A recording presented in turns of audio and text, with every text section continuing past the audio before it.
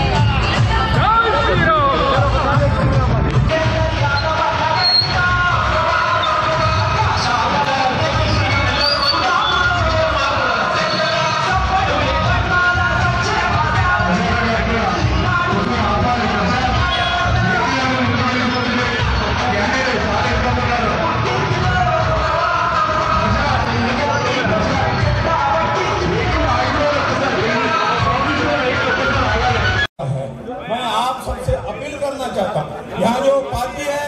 M I am party है, या अपना जो कुछ भारतीय राष्ट्रीय समिति है बोलते हैं हम हम हम सब दोस्त है। लेकिन मैं इनको पूछना चाहता हूँ यदि दोस्त है तो इस चुनाव में इलेक्शन तो कैंडिडेट क्यों उन्होंने खड़ा किया है? क्योंकि भारतीय जनता पार्टी को हराने के लिए ये सब है। भारतीय जनता पार्टी क्या है, बोलने की ज़रूरत नहीं।